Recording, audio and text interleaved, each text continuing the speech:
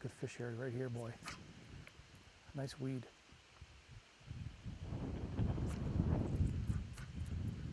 Where them bass?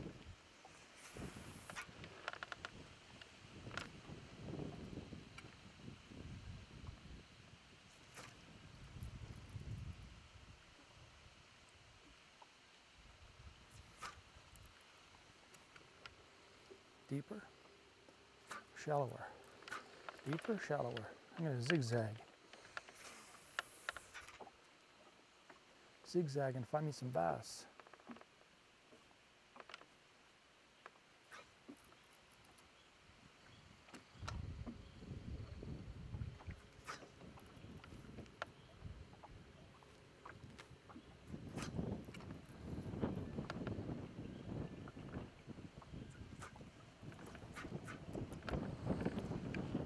Ooh, windy.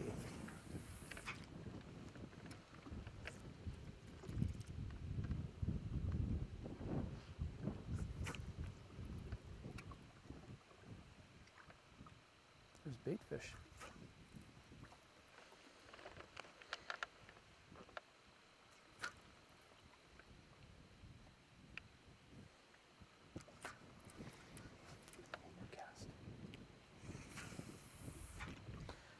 I think I'm gonna catch a fish here. I feel it in my bones. Let's feel that.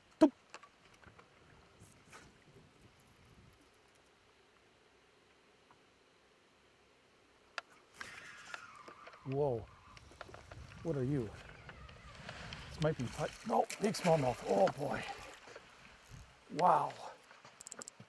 Wow, did he eat that? Holy moly, dude. Did he pound that? I thought you were a pike for a second. I thought you were a pike. Whew. Drag, let them fight a bit. Wow, they're mean. I found that weed in five feet of water. We dig down, look at them. Adjust that drag, make sure it's all right. Let that avid, just tire him out. Whoa, look at him, he's a good one. There he is right there.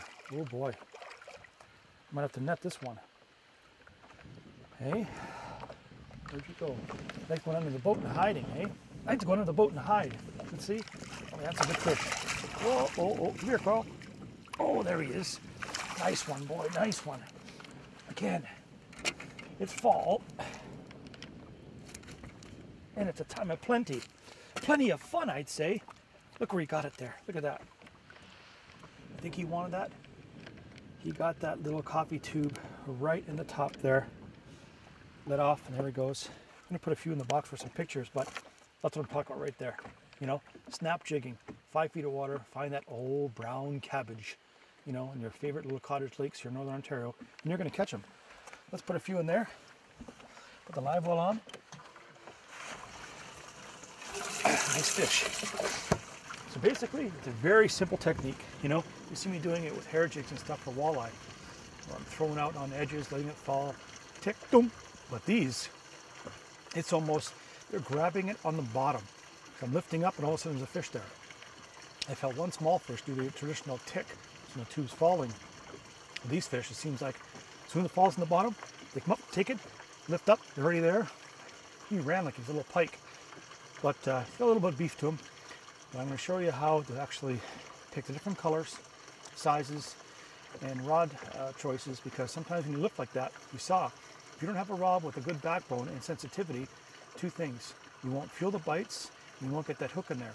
And a lot of times they'll hold that tube, you don't set or you don't have that craftsmanship or that beefy backbone in the butt section of the rod, fish are just going to let go and be disappointed.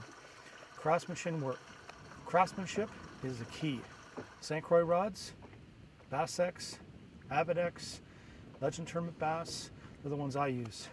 I'm gonna keep going, hopefully catch more like that. And let's go.